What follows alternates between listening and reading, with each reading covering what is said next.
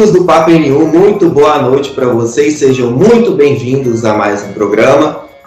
E a nossa convidada de hoje, para quem é do Ceará, ela começou lá em 2002, no antigo Jornal do 10, que hoje se chama CE2.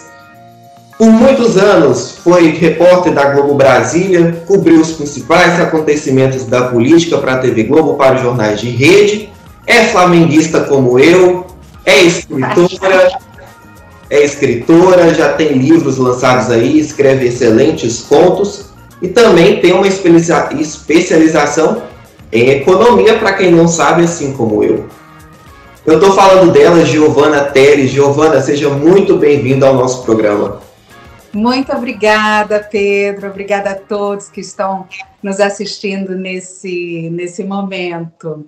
É, em 2002, eu vim aqui para Brasília. Minha história é um pouquinho mais antiga. Eu passei oito anos antes de vir aqui para Brasília, na afiliada da, da TV Globo, na Verdes Mares, no Ceará, que foi onde eu comecei em TV. Então, fiquei oito anos lá, mas o meu primeiro trabalho profissional como jornalista, emendando o estágio ali, foi em rádio. Na Rádio Povo, também em Fortaleza, que minha família é de lá. Né? Depois eu tive uma experiência muito bacana em jornal impresso, que foi no jornal Povo também. E era o que eu queria fazer, Pedro. Eu queria ir para impresso. Eu me preparei e fiz toda a minha graduação voltada para jornal impresso. Sim, você é paulista de Itapeva, né? Antes de ir, você nasceu em São Paulo e depois você foi para o Ceará né? E lá começou sua carreira no, no jornalismo, né?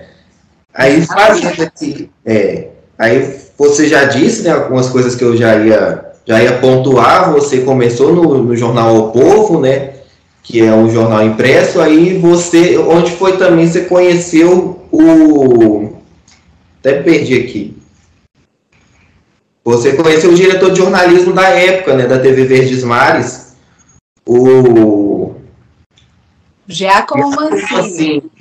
Exatamente. Para TV, né? E logo depois você começou na, na Verdes Mares, que é a emissora. A, a gente, o pessoal do Twitter até brinca, a sereia, né? Porque você é. tá assim. a sereia. É isso. Quem me levou para a TV foi o Giacomo Mancini. Nós somos amigos até, até hoje. Agora ele mora na Bahia, mora em Salvador. É, ele me encontrava eventualmente em algumas pautas que ele ia cobrir, porque ele era diretor de jornalismo e também era repórter dos jornais de rede nessa época. A mulher dele também, a, a Patrícia, a gente se encontrava eventualmente em algumas pautas, e aí o Ancine falava: Pô, você tem uma voz boa, você tem uma presença legal, vamos fazer um teste. E eu, eu não, não tinha intenção de ficar em, em TV. Resisti um pouco, mas acabei indo. E o primeiro teste foi um horror. Ele disse que não, mas eu sei que foi, foi muito ruim, porque eu não tinha, né, não, não tinha o jeito de TV, que é muito diferente quando você faz jornal impresso, né? E eu considero assim que ele foi muito importante para o que eu me tornei, porque ele pessoalmente e alguns editores é que foram os responsáveis pela transição do texto, que é algo fundamental, né? Você escreve para jornal, você escreve com uma forma, tem um formato. Para TV é completamente diferente, né? Então, uma das coisas assim, eu sempre apurei muito. E em jornal impresso, então, você apura muito, muito, muito, que tem a matéria principal, tem o box, né? Tem um side, tem um perfil. Então, eu apurava muito, muito, muito para fazer TV e continuo assim até hoje. Acho que foi uma das marcas dessa experiência no, no jornal impresso. Mas eu comecei na Verdes Mares, foi o Mancini que me levou para lá. Aprendi a fazer TV na TV Verdes Mares, já nos moldes, né, no padrão é, da Globo. Agora sim. É, isso aí de você ter. Você começou em 92 no Jornal O Povo, né? Só para situar aqui a, a linha do tempo, 92, Jornal O Povo, né? e 94 a Verdes Mares. Isso. Aí 2002, ano que eu nasci, ano do Penta do Brasil, né? 2000, não dá para falar de 2002 sem falar do Penta, foi onde você foi para Globo Brasília, né? Exatamente.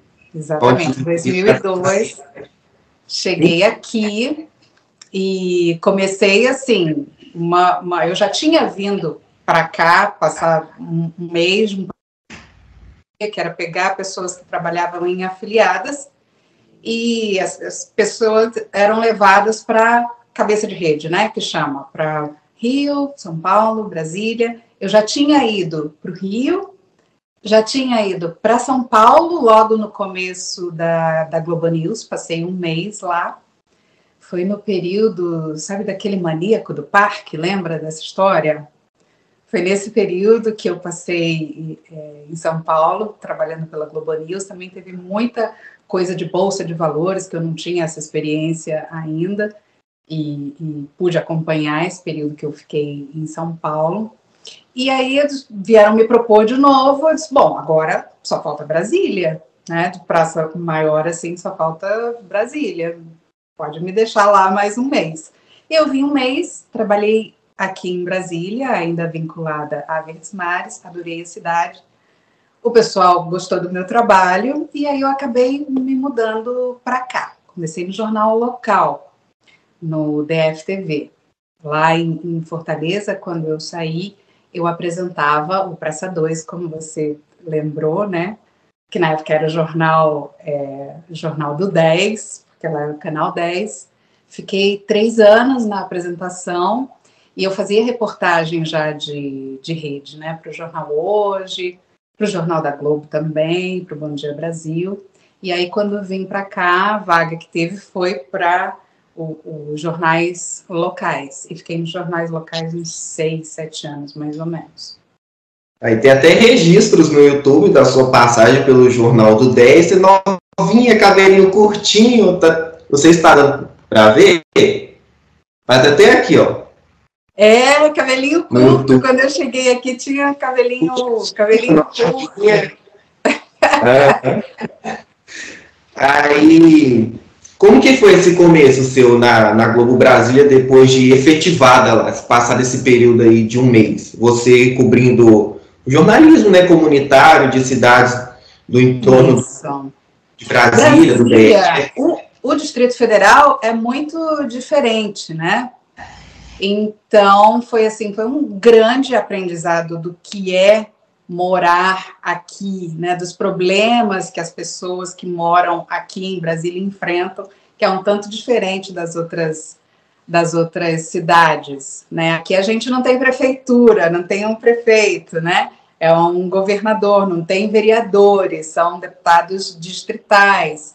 E aí a gente faz tudo, né? Repórter de TV faz tudo, cobrir polícia, cobrir é, muito problema, né? Da, dos, das cidades aqui, né? Dos, dos centros administrativos, que são cidades aqui no Distrito Federal, e também acompanhei muito a Câmara Legislativa. Né? Acho que a minha cobertura aqui começou a ganhar muito destaque na, na parte local, quando eu comecei a investigar é, um esquema de corrupção que tinha se instalado na Secretaria de Saúde aqui do Distrito Federal. E isso acabou virando, se tornando, provocando né, uma CPI na Câmara Legislativa, e aí ganhou destaque nacional, né?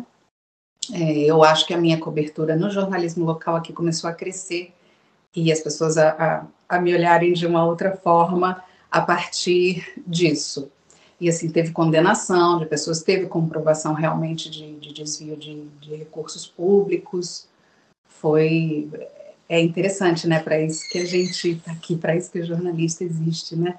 Para mostrar como o que é do povo está sendo usado, está sendo utilizado, está sendo bem utilizado e para o povo ou não. E quando não, tem que denunciar, né? Sim, aí que a gente percebe quanto que o jornalismo se faz importante na sociedade. Né? O jornalismo, além de levar os fatos para o povo, ele também serve como um meio de denúncia. para o povo saber para onde está sendo aplicado os recursos, né, que está sendo bem utilizado e outras coisas também. Você até fala na sua entrevista para o Memória Globo que um dos momentos que você entende o porquê de ser jornalista, né, a importância de ser jornalista, quando você entrevistou a escritora Raquel de Queiroz, lá em Quixadá, no Ceará, né? Como que foi entrevistar ela, né, ela que morava na fazenda Não Me Deixes, né? Como que foi essa entrevista aí? Nossa, Pedro, foi uma das coisas mais marcantes e emocionantes da, da minha vida de repórter, né? É, tinha uma pauta do jornal Hoje para a gente fazer, e eu fui escolhida. Eu sempre tive, as pessoas sabiam, né? Quem trabalhava comigo lá, que eu sempre tive uma afinidade, uma paixão muito grande por literatura, pelo sertão, da mesma forma que tenho uma paixão imensa pela Amazônia. É, então, me escolheram para fazer essa entrevista com a Raquel de Queiroz, já fiquei super feliz, né? E chegamos lá, bom, Raquel de Queiroz né, dispensa comentários, né? Foi uma grande jornalista, coluna que, que ela tinha era super lida e repercutia no mundo político, né? E, bom, fui lá fazer a entrevista com a Raquel de Queiroz na Não Me Deixes, a fazenda dela, que ela tanto amava, que ela começou a escrever vários livros lá e dividir a vida entre o Ceará e o Rio de Janeiro. Quando a gente estava chegando no caminho, eu nunca tinha ido lá à fazenda, aí eu vejo de longe assim uma pessoa saindo da casa, o carro se aproximando, e disse, ah, uma mulher que vai abrir. Aí eu comecei a ver, disse, não, não é Raquel de Queiroz que vai abrir a porteira da fazenda dela pessoalmente para gente entrar, né? E foi assim já, o primeiro impacto. Raquel de Queiroz abriu a porteira da fazenda dela para o cargo de reportagem, para a equipe que eu estava entrar. E foi um dia inteiro. Eu imaginava que fosse assim, coisa de poucas horas durante a manhã. Vou preparar almoço para gente. Foi assim um, um dia inesquecível. E ela falou muito sobre a, a produção dela jornalística, como ela começou, as dificuldades que ela enfrentou. Por exemplo, ela poucas vezes ficou em redação mesmo. Como ela era colunista, ficava mais em casa. E a presença das mulheres nas redações, naquela época, era muito pequena. Então a gente conversou muito sobre isso e ela me falou uma coisa que, assim, me, ela dizendo, né, me custa e eu sofro um pouco para escrever, porque toda semana tem que ter um assunto novo e às vezes isso cansa também, mas eu tenho que produzir então, acho que o jornalismo tem um pouco disso, tem um encantamento, tem a nossa missão. Eu, pelo menos, quando me formei, eu acho que as pessoas que são da minha geração se formaram é, por causa disso, né, com essa missão de transmitir as informações da melhor forma possível para o público. Né? Muito menos o foco em nós e mais o foco no público. É essa a nossa missão. E não, nem sempre é fácil. É difícil, às vezes é difícil, a gente enfrenta também coberturas muito difíceis, dolorosas, né? E que a gente tem que tem que manter ali o mínimo de, de tranquilidade, né, de equilíbrio para poder fazer o nosso trabalho. Por exemplo, eu participei da cobertura de, do desastre em Brumadinho. Acho que para mim foi a cobertura mais difícil e mais triste que eu, que eu acompanhei, né, que eu pude fazer. Assim, teve um rapaz que a gente foi entrevistar, que ele, obviamente, escapou, acho que ele estava de folga, não lembro mais. E quando a gente chegou à casa dele, ele disse: deixa só eu sentar um pouquinho, era no meio da tarde. Só eu sentar um pouquinho, eu estou cansado, porque eu passei o dia inteiro hoje indo a enterros dos meus amigos. Gente, é assim, né? De de cortar o coração. Como que você não se identifica com o sofrimento humano, né? Então tem muitos momentos que são complicados para a gente trabalhar, que a gente precisa engolir o choro. Nem sempre a gente consegue. E eu acho muito legal essa abertura que foi se criando ao longo do tempo, para a gente poder mostrar também que é humano, né? Que sente, que às vezes dá vontade de chorar e é incontrolável. Né? Que a gente está passando a informação, mas a gente também sente, a gente também é humano, né? Sim, tem que deixar florescer esse lado humano do jornalista, né? Porque a gente não é de ferro. A gente, às vezes, pega, sente o baque da notícia, né?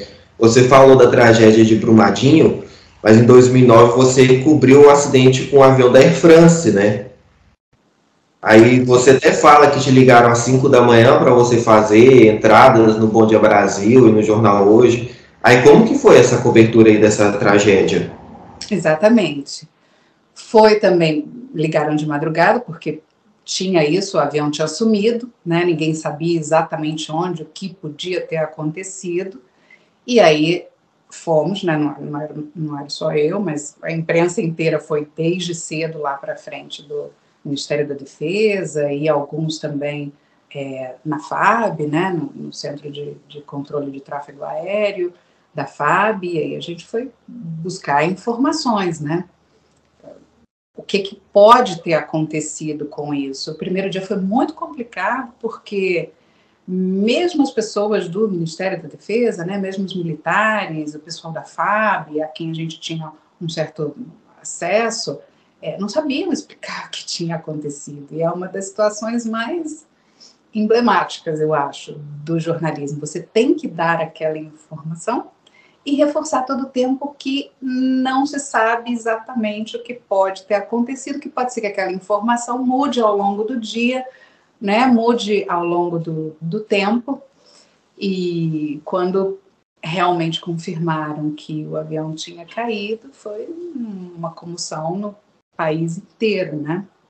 Tinha um maestro daqui que estava nesse, nesse avião.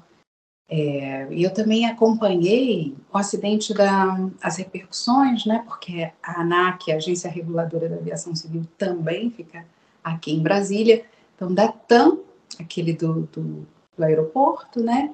E o acidente da Gol, que inclusive tinha parentes de colegas nossos da, da TV que morreram no, no acidente, né? Então, essa cobertura de, de tragédias é bem. É um ponto muito delicado nas nossas carreiras, né? E eu acho assim, se você mantém isso de, ah, tem que passar, que não, né? Essa falsa dureza de, de, de coração, você não se identifica, né? Eu acho que as pessoas acompanham o seu, seu trabalho porque se identificam com a sua forma de falar, com a sua forma de passar a, a informação. Então não adianta muito querer, né, mostrar que ah, não me impacta, impacta. E as pessoas percebem quantas vezes a gente ao vivo os olhos ficam marejados mesmo, a respiração fica cortada. Então são momentos muito delicados, eu acho, na nossa na nossa carreira, esses de de cobrir essas tragédias, né? Sim, se é delicado para gente, enquanto espectadores, acompanhar essas tragédias. Para vocês jornalistas é mais complicado ainda, porque vocês têm que apurar, têm que estar tá imerso na, naquela situação para poder passar para a gente que está aqui do outro lado, né? Então acredito que se para a família já é difícil, para vocês verem o sofrimento daquela família, deve ser mais complicado ainda, né? E a gente, com o passar do tempo, né, principalmente agora com essa onda de ataques em escolas, tá vendo mais uma jornalista se comovendo com as situações, ouvindo os pais, né? Porque não dá, são filhos que você leva para a escola e que acontece uma tragédia dessas que não volta mais para casa. Né? Eu até publiquei isso no meu Twitter, que eu até disse assim: o jornalismo tem que ter seriedade, mas às vezes a seriedade não cabe em, em todos os lugares. A gente não consegue ser sério. Vai ter uma hora que a gente vai externar as nossas emoções, né? Igual quantos repórteres nessas coberturas de tragédia já não choraram? Na cobertura também da tragédia da, da Chapecoense, quantos jornalistas que não Nossa. se emocionaram, né? Nossa, é, e, e é assim, a gente é gente igual. Exatamente. Antes do jornalista. Está numa missão diferente, mas antes de tudo, né? Exatamente. Nós, nós somos pessoas iguais, temos, né, temos nossas famílias também e, e, A gente se coloca no lugar A gente se coloca no lugar do outro. Exatamente isso. Não, não tem como, é inevitável isso. Inevitável, exatamente. Então, acho que com o passar do tempo, ainda bem que está havendo uma quebra de barreiras, né? A gente está fazendo cada vez mais um jornalismo mais humano, para que quem nos assiste consiga ver na gente o que o espectador está sentindo assist, acompanhando aquela notícia. Quantas vezes eu já me explodi com essa cobertura de, de tragédias? Né, não, não tem como. É, e assim, essa sempre foi uma preocupação minha. Mesmo é, antes de vir para cá, teve uma série que eu fiz, que algumas matérias foram exibidas no, no jornal hoje, é que a gente pensou assim, era, era um período assim, de um período, era um período muito prolongado de secas, né, no Ceará, e no ano, eu, eu sou péssima com data, não vou lembrar qual foi o ano, o governo decidiu, o governo do estado decidiu que as escolas não abririam no mês de julho, que havia anos também que as escolas abriam para basicamente alimentar as crianças, né? Terem ali pelo menos a, a garantia de uma ou duas, duas alimentações e teve essa decisão que não, não abriria em julho. Vamos mostrar como é que as crianças vão fazer, como é que as famílias vão estar nesse período em que as escolas estão fechadas. E aí a equipe de produção, né, me ajudou a selecionar algumas cidades para gente, a gente ir. Foi muito triste o que a gente viu. Nós chegamos, chegou numa, numa casa é, no sertão, tinha uma menina muito pequenininha no colo da mãe e, a menininha chorava muito, chorava muito. Ela estava com o bracinho engessado e eu tentando conversar, entrevistar essa mãe, que tinha outras duas crianças em, em período escolar. E a mãe começava a falar e a menininha chorava, chorava, chorava. Até que chegou um ponto que eu perguntei, nossa, mas será que o bracinho está incomodando? Assim, você não quer que a gente leve você ao hospital para o médico ver? Aí a mãe falou, mas não é o braço, é fome. Porque desde ontem à noite eu não tenho nada para oferecer para os meus filhos. Então, assim, aí eu comecei a chorar, o repórter cinematográfico começou a chorar, aí a gente se juntou, foi no mercado, fez uma cesta e levou para essa casa, né? Então, isso da gente estar tá preparado para ouvir a população é tão importante, né? E eu acho que é um, um componente nosso, humano antes mesmo de sermos jornalistas, né? De, de um olhar compassivo, né? de, de, um, de alguém que escuta quem menos tem, quem tem condições para falar, quem é ouvido muito pouco, né? Pelo Estado brasileiro de forma, de maneira geral. Então isso da gente dar ouvido a essas pessoas e retratar os reais problemas que a nossa sociedade enfrenta, isso é muito importante. Sempre foi e sempre será. Né? A gente tem agora a, a iniciativa a Agência Suma Uma, que está mostrando os problemas dos povos indígenas, especialmente os do norte, né, que povo negligenciado, vamos ser sinceros, né? tanto pelo Estado quanto pelas grandes coberturas. Aí tem essa agência agora que está dando voz, está ouvindo essa população. Isso é muito importante. É muito importante para a nossa construção como sociedade. E para a nossa democracia também, né? E para a nossa democracia.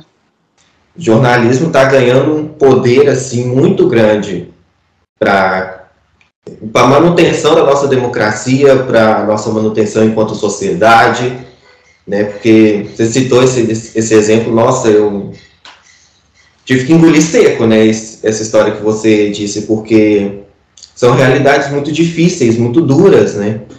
A gente sabe que esse problema existe, mas às vezes a gente não tem essa dimensão, né? Aí quando a gente escuta esses relatos, a gente não sabe nem o que sente às vezes, né? É, é complicado isso. Então, assim, você falou de grandes coberturas, agora vamos ir para 2012. Você cobriu o julgamento da CPI do mensalão, né? Quem não sabe, mensalão foi um escândalo de corrupção da época do governo do PT, né, de pagamento de, de desvio de dinheiro, né, de, enfim, um grande esquema de corrupção que parou o Brasil na época. Isso. Aí você teve o desafio de entrar ao vivo para anunciar a lista dos condenados e depois também o envolvimento do Demóstenes Torres com o bicheiro Carlinhos Cachoeira. Como que foi essa cobertura? Agora já saindo de uma coisa mais humana e indo para a política. Você cobriu política excepcionalmente bem, né, por muito tempo. E eu acompanhei isso, falo com orgulho que eu te acompanhei, te assisti. Acho que em todos os jornais da Globo eu te assisti. Mas como que foi cobrir um mensalão? É, o, o, julgamento em si foi longuíssimo, né? Porque eram muitos personagens, né? E você vê num país é, como o Brasil, políticos sendo condenados pela instância máxima da nossa justiça, tem um peso, né? Tem, tem um, um poder sobre a sociedade, sobre o ordenamento, de dizer que não, não é assim. Aqui também não é esse país bagunçado desse jeito, né? Cometeu crime, vai ter que, vai ser punido, vai ter que cumprir pena.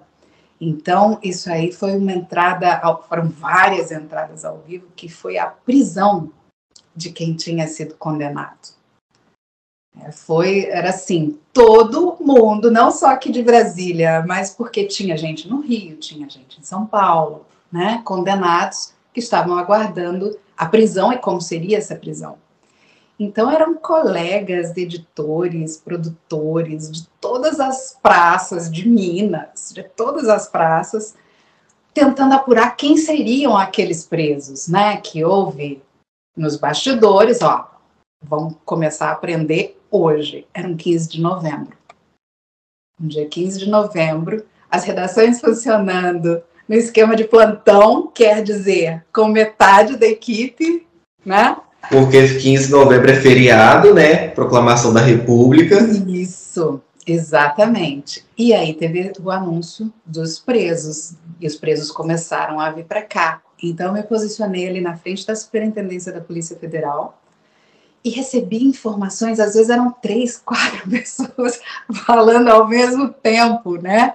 E claro, houve algumas incorreções, porque todo mundo na ânsia de apurar, assim, ah, já prendeu o fulano de tal. Eu entrei ao vivo dando uma lista e depois, não, fulano de tal não tá, não tá, não foi preso ainda. Aí a gente corrigia, mas aí já tinha falado, né?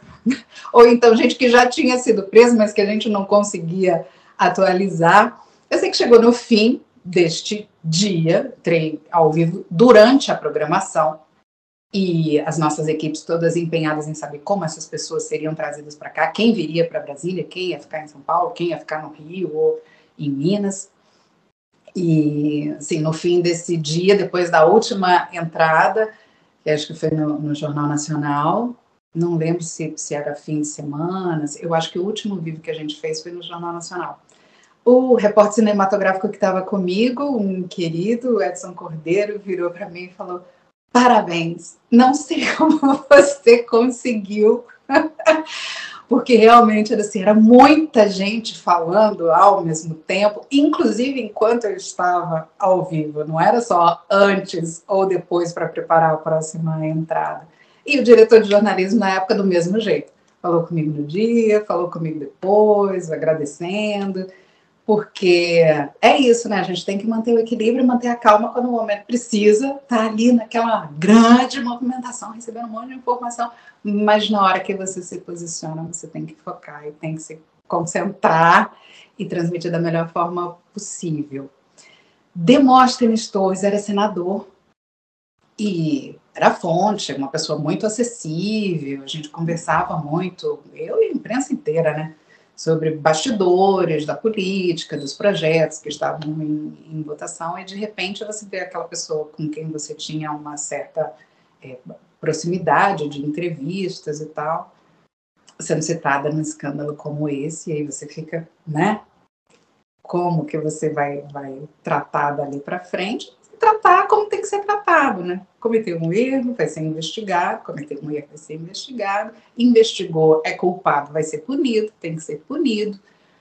E são coisas muito típicas, eu acho, daqui de Brasília, né? Que talvez pela ter o Congresso Nacional aqui, serem muitos políticos, né? Sempre tem uma, uma situação como essa, assim, uma pessoa que, com quem você trata mais diretamente, né?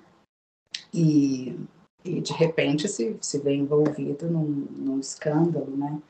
E que não se esperava, porque na época o senador também falava muito contra a corrupção, né, em se criar uma, um novo estado de coisas dentro da política, e aí ele se viu né? Ele foi envolvido também, estava envolvido né, no esquema desses. Né?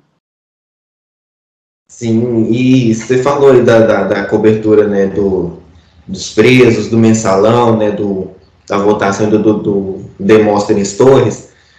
Você, além de estar tá, recebendo as informações, um monte de gente falando no ponto, tem um monte de gente perto, a imprensa toda do seu lado, né? E está todo mundo falando ao mesmo tempo, né? E então, assim, co cobrir Brasília é sempre um desafio diário, né? É. E, porque a política nacional está ali, decisões importantíssimas que podem afetar a população inteira saem dali, é porque você não tem só o Congresso, você tem os ministros, você tem o Banco Central, você tem a Caixa Econômica, né?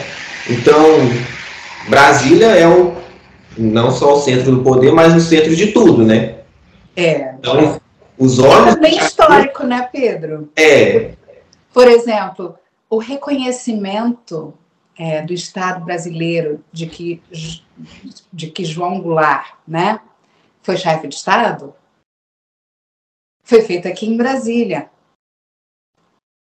Então a gente consegue também né, acompanhar é, esses momentos históricos não relativos apenas à política no momento em que ela está sendo feita, mas também quando a história começa a ser recontada, né? E Jango foi exilado, golpe militar, aquele horror todo que a gente sabe como é. E eu estava num plantão também, foi num sábado, quando os, os restos mortais foram trazidos para cá, iam para o Rio Grande do Sul, eles fizeram uma parada aqui em Brasília para esse reconhecimento público do Estado brasileiro, de que ele foi chefe de Estado. Foi uma cerimônia muito emocionante, de pessoas da, da família dele aqui, e sim, a gente leva, né, para a gente também essa experiência de ter visto, de ter acompanhado presencialmente o que isso representa para o seu país, né? Um, é, quando Niemeyer morreu, também, né, veio para cá, foi aquela comoção toda, claro, e a gente fez toda toda a cobertura, né? Então, é, tem esses, esses momentos da política enquanto ela está sendo feita e da história, né? Quando é recontada e quando a gente reconta a história também. A gente fez um Globo Repórter muito legal no ano passado, é, mostrando as faces diferentes de Brasília. Foi muito. Eu fiquei com a parte cultural, então assim, muita gente não sabia que a música Água de Beber foi feita aqui no Catetim pelo Tom e pelo Vinícius. Nossa, eu também não sabia, desculpa.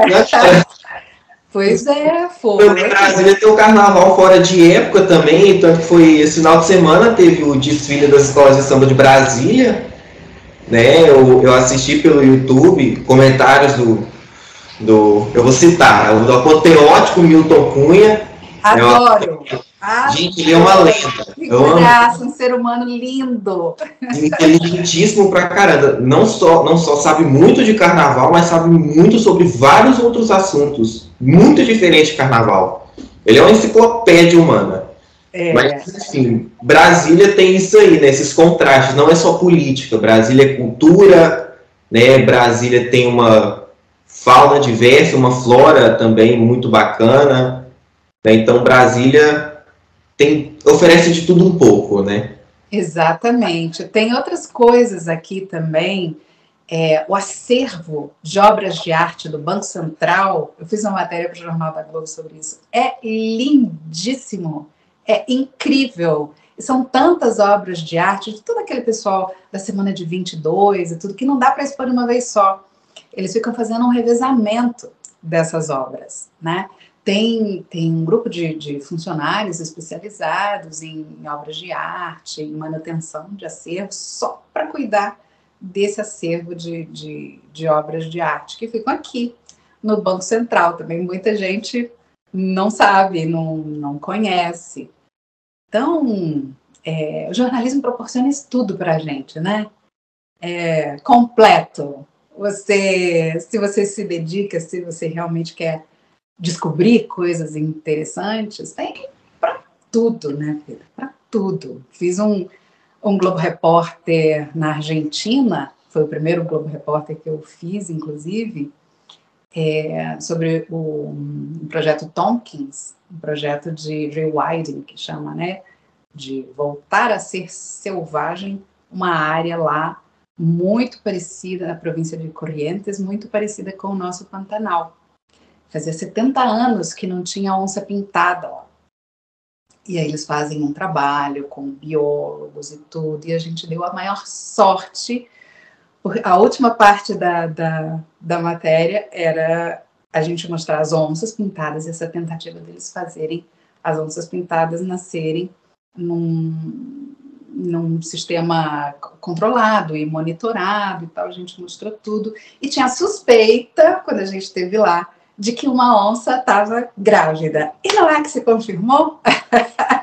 Aí até o programa ir ao ar, nasceram as primeiras oncinhas lá dos esteiros de Liberar. A equipe inteira ficou emocionada e foi muito legal. E os biólogos de lá da Argentina mandaram, fizeram é, imagens à distância, né? Porque aí os filhotes já foram é, crescidos e nascidos livres para eles não terem que fazer uma adaptação né, de cativeiro para liberdade total. E ficou muito legal, muito, muito bacana. E a gente pensa, né, o homem destrói, mas também tem o poder de consertar, de refazer, de reconstruir. Né? Basta consciência, consciência ecológica, consciência como ser humano, da importância que o meio ambiente tem para a gente, que é fundamental, claro, né? E reconstruir. A gente pode. Mesmo pessoa que destrói, que fere, também pode reconstruir, né? Sim, agora a gente precisa de mais seres humanos com essa consciência ecológica, né? A gente ainda consegue reverter algumas situações. A gente só precisa ter mais consciência, né? Vontade política também. Né? Exatamente. Precisamos de mais políticos também com essa consciência ecológica de preservação da natureza e também dos povos indígenas, que também são de sumo, suma importância. E um outro fato que você cobriu, fez 10 anos esse mês, fez 10 anos em junho, foram as manifestações de 2013. Você estava numa negarrincha em Brasília. Quando começou, né, um, um certo grupo. Você até fala que estava numa negarrincha e cobriu os primeiros movimentos, mas que não tinha, tá, não tinha noção da dimensão que esses protestos iam tomar. Exatamente. Esses protestos ganharam o Brasil. Eu lembro, eu tinha. Eu ia fazer 11 anos na época. Eu lembro, eu assisti na minha cidade, teve protestos também. Né? Então, foi. Podemos falar que 2013 foi o estopim do que veio a acontecer no, nos anos seguintes, né? É. E eu não preciso nem falar o que, que aconteceu, né? Mas enfim. Como que foi você ver o começo de tudo, digamos assim? Você pensar, poxa, eu estava ali cobrindo o que a princípio era só algumas pessoas, mas que depois virou centenas de milhares de pessoas no Brasil inteiro. Isso. A, a, cobertura, na verdade, se não, se não me falha a memória, era de um evento esportivo não lembro se aqui da América Latina, e como isso estava alterando a cidade, é, mudança de trânsito, essas coisas. De repente, começaram a aparecer umas pessoas, começaram a tocar fogo em pneus ali perto do, do, do Mané Garrincha, e ninguém estava entendendo nada. A gente não conseguia entender. Porque não tinha, assim, não tinha faixas é, muito claras, né, de reivindicação. As pessoas falavam coisas meio desconexas, não, não tinha é, um, uma liderança ou lideranças que pudessem trazer para a gente o que era aquilo, né? O que, que, que eles estavam reivindicando, na verdade? Aí tinha assim duas ou três coisas que a gente pensou de conseguir conversar ali rapidamente antes de entrar ao vivo e, e relatar, olha, está tendo um protesto, eram poucas pessoas, mas é, assim já começaram de uma forma agressiva, né? Assim, botando fogo em pneu. É, eu acho que cortou aqui, não? Está me vendo? Travou sua imagem, mas eu estou te ouvindo. Ah, peraí, vamos ver se volta então. Hum, não estou vendo, Pedro. Vai. Ah, agora. Então, vou, vou, recomeçar aqui. Então, eram poucas pessoas, mas já chegaram de uma forma muito é, agressiva, né? Colocando fogo em pneus, a polícia teve que intervir e a gente não estava conseguindo entender qual era a reivindicação, ou quais eram as reivindicações, quem eram as lideranças, se eram pessoas ligadas, né? A, a, a a que grupos, né? Se era de direita, se era de esquerda, o que era aquilo ali. Mas eles chegaram já de uma forma bem, bem agressiva e a gente pensou ali umas duas ou três reivindicações que, que estavam fazendo e colocamos no ar. E ali, a partir dali, virou o que virou em 2013, né? O que a gente viu aqui, tenta, depois, né, dias depois, um mês depois, tentativa de, de invasão do Palácio do, do Itamaraty também, do Congresso, aquele, né, aquela, aquela situação horrível, né, quebradeira geral, ali pela, pela esplanada dos ministérios em todas as cidades, né, o que, que foi, né, a partir de 2013, infelizmente, no começo desse ano, né, no dia 8 de janeiro, lamentavelmente, assistimos aquela barbárie, né? Hum, sim. Toda como foi. Espero, sinceramente, que as pessoas que contribuíram para aquilo, para aquelas ações, é, sejam punidas, né? Rigorosamente, como precisam ser, né? Sim, a gente pode desrespeitar a democracia desse jeito e sair impune. Não se pode. Exatamente, elas não desrespeitaram só a democracia, elas desrespeitaram a história do Brasil e desrespeitaram a si mesmas, né? Porque como que você invade a Praça dos Três Poderes e se acha no direito de sair quebrando tudo, quebrando o STF, o Congresso, o Senado, e vai ficar por isso mesmo? Foi um atentado contra nós, contra a nossa democracia, né? E que Exatamente. episódios como esse nunca mais se repitam, porque Exatamente. infelizmente manchou nossa história. Manchou nossa história da democracia, e uma democracia recente, né? Depois do, do período da ditadura militar. Sim, e, recente, que está né? em período de consolidação ainda, né? Como a gente, como a gente, a gente né, falou agora há pouco, que fizeram dentro do, do STF. Assim, e quando a gente chegou para trabalhar na segunda-feira, o Palácio do Planalto com os vidros quebrados, as lá para baixo. Uma tristeza profunda, né? Como, como pode? Brasileiro como a gente fazer aquilo, né? Com, com os, os símbolos né? do, do poder da nossa república, né? Como, como pode se achar no direito de fazer aquilo e fugir? E sabe o que eu acho interessante desse episódio do, do 8 de janeiro? Tentaram enfraquecer a democracia, tentaram implantar um golpe, mas no dia seguinte a gente conseguiu ver uma um fortalecimento da democracia, aquela imagem emblemática do presidente da República com os 27 governadores descendo a rampa, indo até o STF, vendo tudo quebrado e com o discurso: não, ninguém vai sair impune, todos que contribuíram com isso vão pagar pelo que fizeram e que nós, governadores, junto com o presidente, STF, Legislativo Judiciário, vamos nos unir para que episódios como esse não se repitam. Tipo assim, miraram num, num alvo e acertaram em outro completamente diferente. É, é muito grave, muito grave. E ainda agora, há pouco, né, se descobrem diálogos, né, né? Pensavam que era um golpe, parece que não foi bem assim, né? parece que havia mesmo a intenção né, de, de um golpe de Estado. É muito grave, muito sério o que aconteceu aqui no dia, no dia 8. Sim, e Giovana, a gente estava falando assim de, de política, né? Você cobria pautas mais, mais leves, digamos assim, né? Mas como é que você fez essa transição para cobrir política? Como que você conseguiu ter uma rede assim de fontes, como que você consegue uma fonte, cultiva uma fonte, mantém ela para quem? E também uma dica para quem quer seguir o jornalismo político, né, que é o meu caso, adoro política, né, e como que você fez essa, essa transição aí, como que você se manteve por muito tempo nesse nessa área, sendo uma das jornalistas mais renomadas desse desse grupo aí da, da política? Obrigada, Pedro. É, a transição, na verdade.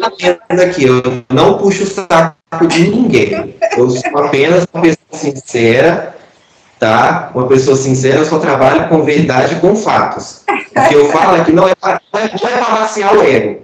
Eu falo aqui porque eu, eu entrevisto pessoas de renome, pessoas conceituadas, como ó, Fábio William, entrevistei Cristina Patiglione, Cecília Flash, que foi demitida da, da Globo News, né? Que é uma querida, amo ela. Entrevistei Isabel Benito também, que é do SBT Rio. Então, assim, o que eu falo é o que eu vejo. Todo mundo que eu entrevistei eu acompanho. Então, eu tenho local de fala. Muito obrigada. Essa transição, é, pra, acho que você fala de política nacional, né?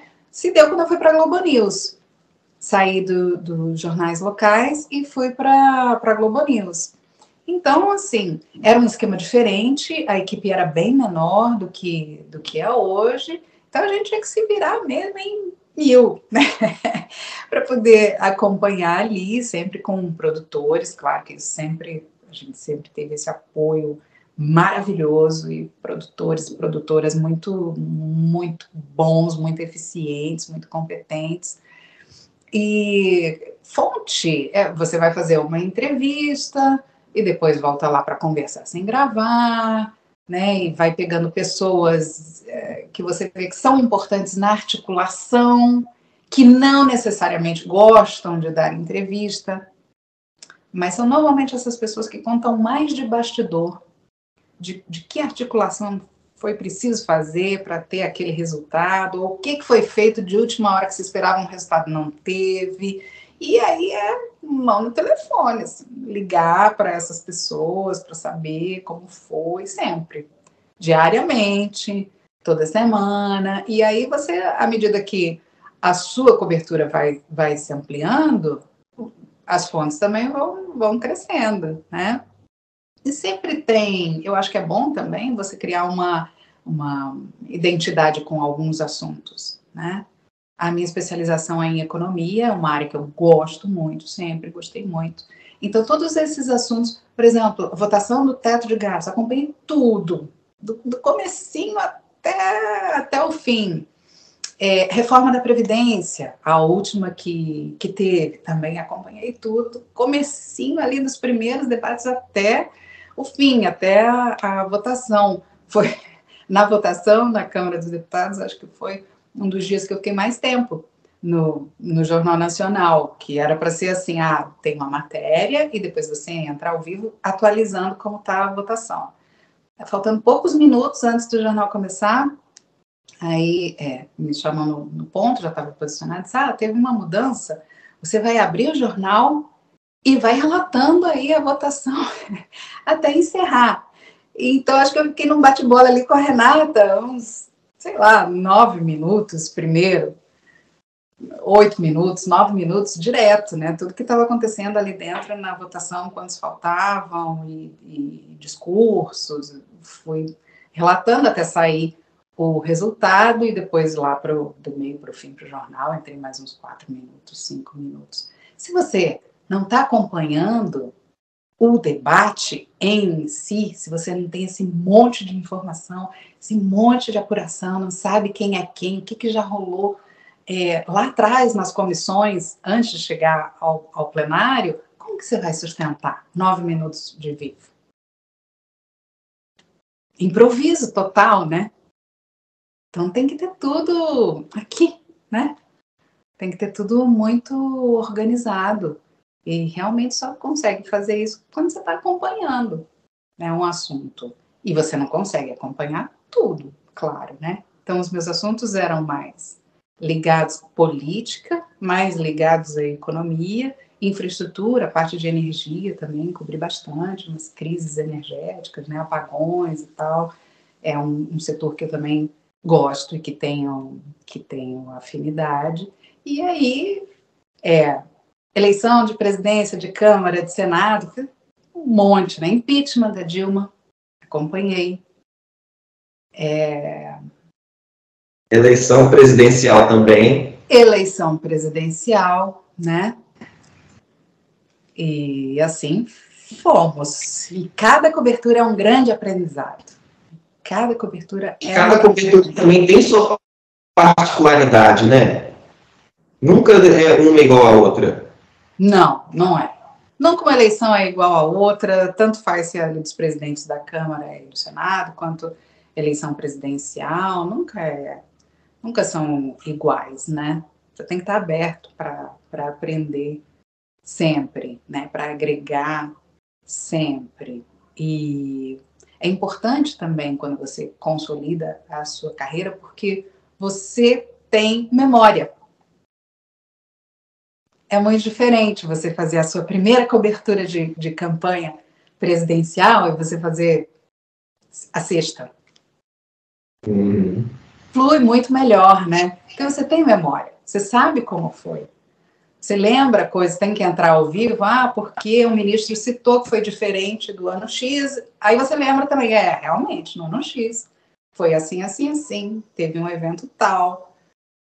E é, é, muito legal você ver isso. A sua própria evolução, sabe? É interessante também. Sim, e você falou de, dessa entrada no Jornal Nacional que você fez, que você ficou vários minutos a fio, quase 10. Além de você ter tudo guardado na memória, você tem que passar isso de uma maneira que quem está assistindo consiga entender o que está acontecendo, né? Então, não é só o exercício de apurar a informação, é também de passar isso de uma forma que quem, quem não acompanha a política consiga entender o que está acontecendo, né? Como que aquilo que ele está vendo interfere no seu dia a dia. Exatamente, exatamente. E contar com uma lógica, né? Sim, como uma lógica também. E, Giovana, desse período aí da, da política que você cobriu, com um, um fato, assim, um acontecimento mais inusitado que aconteceu, uma cobertura marcante. E como é cobrir política? Quais as, os momentos bons, os momentos ruins? Conta aí pra gente como que é. Cobrir política. Pois é, né? Jargão. Mas é mesmo. É mesmo. Você tem que estar muito atento, muito esperto para não ser usado. Porque muitas vezes, né, tem os políticos que, que chamam assim, ah, tem uma coisa exclusiva, né? É, ou é a senha, né? É exclusivo e tal, aí passa ali para você. E assim, você observa aquilo, recebe, claro. Mas analisa muito bem se tiver tempo e condições, se não for pressionado para colocar logo no ar, que pode ser um grande balão de ensaio, assim. Depois você vai é, bater aquelas informações com outras pessoas, até com técnicos mesmo, e ver que não, não tem condições daquilo prosperar. Se você não tiver essa calma, você coloca no ar bomba a pessoa que te passou o exclusivo, é usado. Né, na verdade, o que ele queria era um teste, ver qual seria a repercussão daquilo, se ele continuaria com aquela ideia ou não. Isso é ruim. Eu, eu considero ruim. Né? A gente tem que colocar no ar o que tem força para prosperar dentro do Congresso Nacional, dentro de uma Câmara de Vereadores, das, das Assembleias Legislativas, né? Não tem que fazer jogo de ninguém, né? Tem que, sem nenhum motivo plausível, colocar a pessoa para falar. É preciso ter, ter uma base. Cada minuto de TV é, é, é muito significativo, tem um peso muito forte. Seja TV aberta ou TV fechada. É preciso você ter critérios. Né? Então, esse é um cuidado que eu sempre tive, assim, não ser usado. Né? Não aproveitar que você tem que abastecer ali a máquina da notícia e não ser usado. Acontece muito. As tentativas são inúmeras, né? E às vezes não é nem só do Congresso, não. Aqui nos ministérios também, Palácio do Planalto também. É preciso você estar tá, tá muito atento. Teve uma, uma cobertura que foi a votação da perda do mandato da cassação do Eduardo Cunha. E quem acompanhava ali antes e tudo, para onde ele ia, era aquele secto, sabe? Um monte de políticos em volta e tal. Ele realmente teve muito poder. Foi um dos presidentes da Câmara mais poderosos. É, ele e aí, no dia da... boa articulação política, né, o Eduardo Cunha. Vai lembrar que foi ele que presidiu a sessão que culminou no impeachment da Dilma, né? Sim, sim. E Eduardo Cunha é uma figura famosíssima no meio político até hoje. É, é. E aí, no dia da votação da perda do mandato, né, que culminou com a perda do mandato dele, é, assim, ele sozinho no plenário, em volta dele ninguém. Foi uma cena muito cheia de simbologia, sabe? É, um ou outro ele se aproximava e cumprimentava. Nossa, mas nem de longe. Era a cena que a gente que estava ali no dia a dia do Congresso estava habituado a ver. Então tem umas, umas imagens, né? Tem imagem, né? tem umas imagens que são muito fortes para a gente. Essa foi uma delas, que ficou assim, nossa, uh, que diferença, né? Que tinha todo o poder e ali você viu o vazio de poder, né? O, o castelo desabou, né? O castelo de cartas dele ruiu. É. É, é interessante. A política brasileira é uma coisa interessante, né?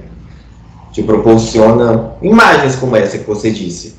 Uma pessoa que num dia tinha vários deputados próximos, que no outro já não tinha ninguém, todo mundo abandonou. É. É muito interessante acompanhar a política nacional. Isso te permite várias leituras também, né? Sim. né? Muitas leituras, muita interpretação. É é, é muito interessante, é, é prazeroso também é, acompanhar. Prazeroso e às vezes estressante.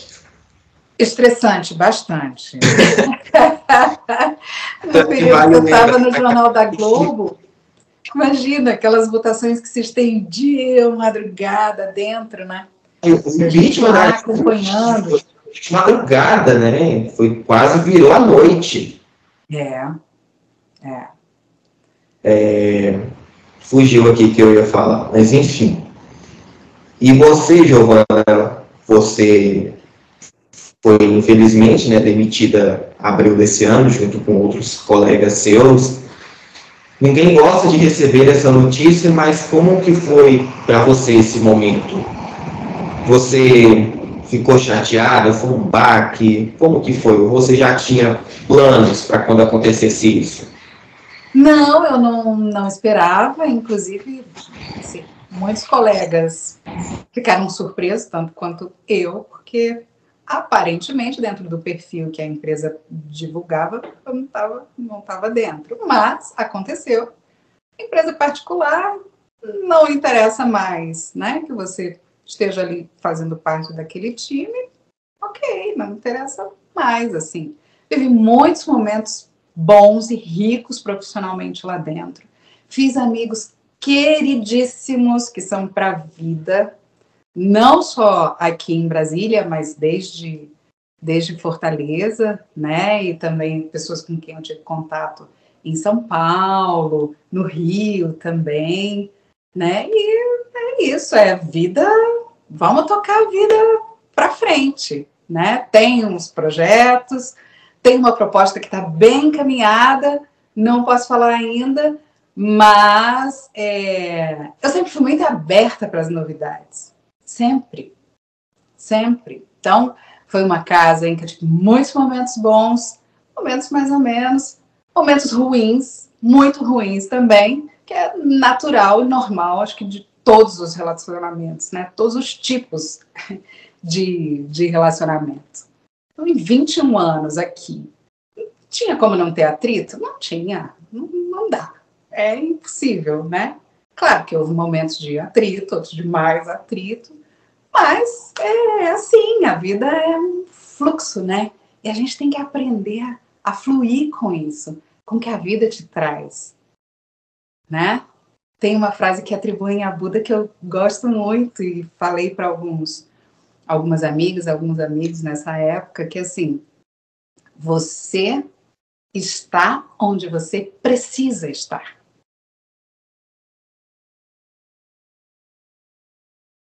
Se eu não estou mais lá, é porque eu não precisava mais estar lá. Né? Então, assim, é abraçar o que a vida vai trazer, as novidades que virão, eu tenho certeza que virão. Você falou um pouco aí, é, eu escrevo também, nesse período mais da, da pandemia, me voltei mais para literatura mesmo. Tenho contos publicados em, em antologias, agora foi selecionada para mais uma antologia. Tenho projetos de, de livro, um livro de contos que está mais ou menos pronto, só meu mesmo, é correr atrás de, de editoras. E eu faço cerâmica, faço um monte de coisa, danço, faço flamenco. Então, minha vida é muito cheia de coisas boas. Tenho a minha família, que a gente se ama muito, minha filha maravilhosa, que é bióloga e agora foi para fotografia, minhas irmãs, que a gente se dá super bem, se ama demais, meus pais estão vivos, graças a Deus. Isso tudo é motivo para agradecer, não é? Minha vida é assim, o trabalho é parte importantíssima da vida da gente. Mas não é tudo. Né? A gente é tão mais. O que a gente vive e o que a gente espalha por aí é tão mais que o nosso trabalho. E eu fico muito feliz quando escuto pessoas como você falando que acompanharam o meu trabalho durante esse período, que cresceram, que se estimularam para fazer jornalismo é, em função do que vocês viram. Esteja coração assim, pleno. Você falou aí que gosta de escrever contos, né? Tem esse lado aí, escritora. Você tem algum, algum gênero que você gosta de escrever mais? Você gosta de escrever mais romance, mais drama? O que, que você gosta de escrever mais? Com o que, que você se identifica? Então, o que eu, o que eu escrevo hoje é, eu faço mais contos, porque não me sinto preparada ainda para romance, que acho que é uma coisa mais de fôlego, mas também já tenho o esqueleto de um, acho que vai levar mais, mais tempo para sair aí. Foi até de uma oficina que eu fiz com a Socorro Racioli, um escritor incrível, cearense também. E o de contos, quem me despertou para eles e para essa transição da escrita jornalística para a escrita literária foi meu guru literário, que é, virou um grande amigo também, que foi o Marcelino Freire, e pernambucano, que mora em São Paulo. E aí, depois da oficina que eu fiz com ele, eu já fiz várias, várias outras também. João Silvério Trevisan, maravilhoso. Fiz umas oficinas também de biografia, que também tem um projeto de uma biografia, mas a minha escrita, ela é muito associada, eu gosto de dizer assim, ela tem um pouco de, de, de alma e da tatuagem do sertão e da Amazônia, que eu morei no Pará um tempo quando eu era criança, e o que eu vivi lá nesse período foi muito marcante para mim, muito marcante. E agora, recentemente, eu voltei a conviver uh, no Pará, mais especificamente em Alter do Chão. Amo de paixão. Fiz amigas maravilhosas. Alter do Chão, oeste paraense, né? É. E aí é, me integrei ainda mais assim a, a questão indígena. Tenho grandes amigas, as suraras do Tapajós, que são maravil maravilhosas. Elas são uma organização social e também foram o primeiro grupo feminino de carimbó. Elas estão agora em Parintins. Foram convidadas para participar do boi em Parintins. Então, acho que tudo isso constrói a gente. Boi? E também constrói a minha forma de ser. essa curiosidade. Qual boi? O garantido ou caprichoso? O azulzinho é o caprichoso, né? Calma aí. Eu para um, só que eu sempre esqueço o nome. Eu fui pro azul, eu acho, eu acho que é o caprichoso. Eu acho que é o caprichoso também. Eu nunca fui a Parintins, mas as meninas lá maravilhosas, lindas. É, o caprichoso. É o caprichoso. Garantido é o vermelho. É, foram para lá e a música, uma das músicas do Caprichoso é com elas, inclusive, sabe? Eu tenho muito orgulho dessa, dessas conquistas delas, né? e das pessoas que, que batalham, que guerreiam mesmo para manter a nossa floresta de pé, o nosso cerrado de pé, as pessoas do sertão que batalham né, pela importância da caatinga, que é também um bioma único, né? Nosso aqui. É, essa questão ambiental me move muito, muito. E eu acho que devia mover todos nós. Então, de uma maneira geral, a Giovana, a escritora, gosta de escrever contos sobre cultura, né? Ligada à cultura, raízes, digamos é, assim. São coisas que eu vivi, é, que eu vi quando criança e que eu mesclo um pouco com o olhar de hoje, né? tem, tem muito de lúdico, tem muito de questões afetivas também, emocionais, né? E esses contos que estão mais ligados à Amazônia, especialmente, eu meio que subverti assim os, é, a pontuação. Eu quase não uso vírgulas neles, dou mais uma ideia de fluxo de pensamento. E quem lê gosta, né? Um desses contos foi finalista do Prêmio Flip do ano passado.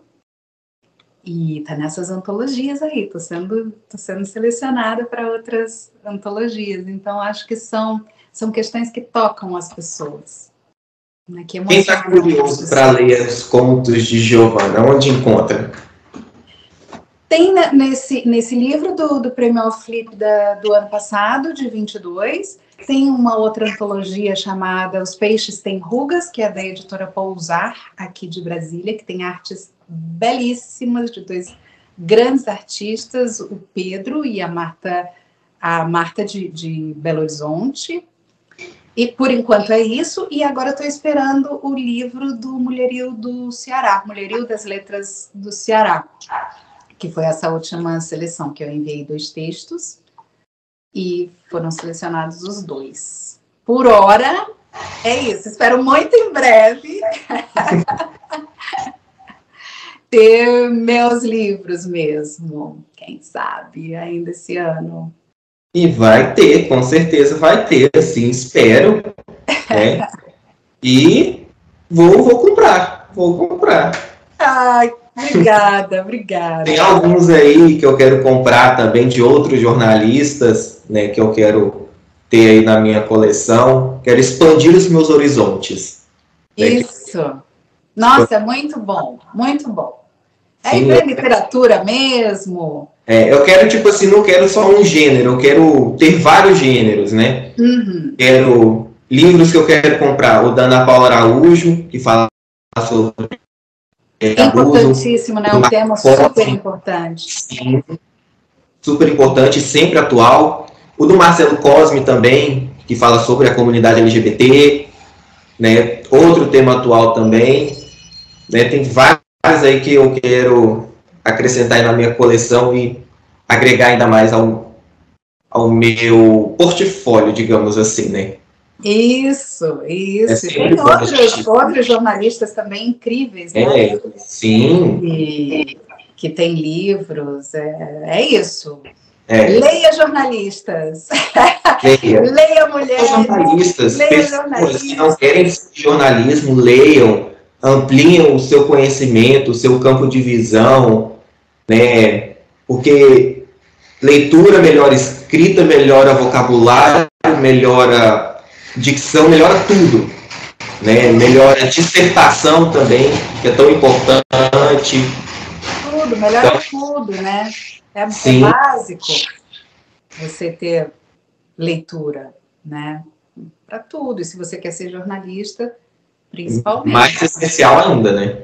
Mais essencial ainda, né? Que a gente também, a gente jornalista, não fique. É. isso que o mundo meio que se formou hoje, né? De uma leitura rápida de dois parágrafos e uma manchete, não. A gente não pode fazer isso. Não pode, jamais. Né? E você, como eu falei, só para encerrar aqui, você é flamenguista assim como eu. Sou, com muito orgulho. Ai, como que aguenta o coração vendo o Flamengo alto lá em cima, depois cai essa inconstância e como que fica esse coração flamenguista? Menina, tem sido difícil, né? Teve um período Nossa tão bom que a gente só ganhava.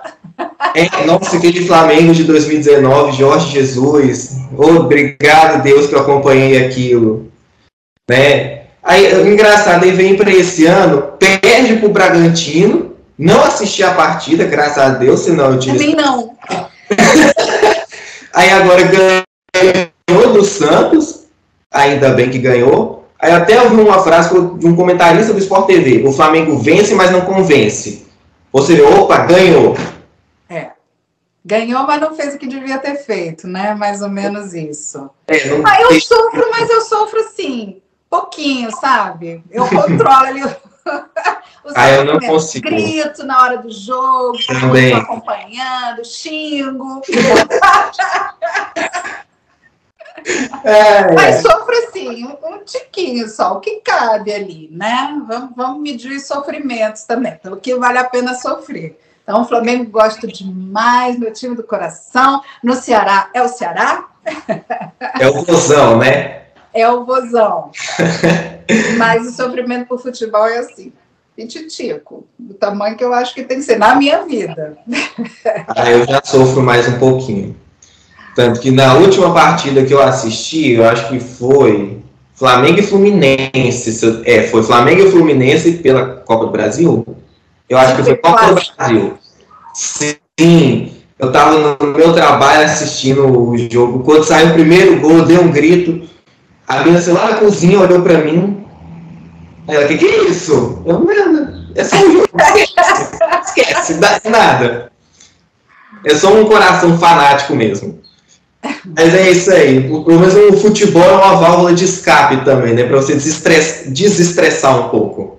É, é é uma paixão mesmo, né? É uma paixão nacional. Brasileira. É. Brasileira não, no mundo inteiro, né? Até quem não gosta de. Chega a Copa do Mundo, até quem não gosta de futebol acompanha, torce, não entende é. nada, mas está lá torcendo. Está torcendo, exatamente. Esporte é, é super importante também, né? Quantas histórias de como ferramenta de mudadas e melhoradas Sim. pelo esporte, pelas artes de modo geral, não é? Aham, esporte também é uma ferramenta de construção social, de mudança de vida, né? Quantas pessoas que foram, que hoje são grandes nomes do, de, de diferentes modalidades que foram inseridas aí por causa de projetos sociais, né? Isso. Então, de suma importância. Então a gente tem que mudar esporte, a gente tem que proporcionar mais dignidade através de política de assistencialismo, a gente tem que proporcionar muitas coisas ainda para a gente ter um Brasil minimamente ideal. E educação, né, Pedro? Educação. Educação. Educação. E precisa de muitas, muitas mudanças, né? Nossa, minha mãe que é professora, né? Então a gente ouve relatos dela, eu ouço, né, ainda hoje. Minha mãe é professora há muito tempo, então a gente vê realidades assim, professores que dão um duro danado, né, pra, às vezes até para levar comida para seu, os seus alunos, né? É, é, é.